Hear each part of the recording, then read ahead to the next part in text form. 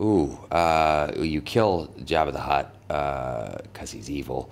Uh, Yoda, you marry, and then you fuck the other one.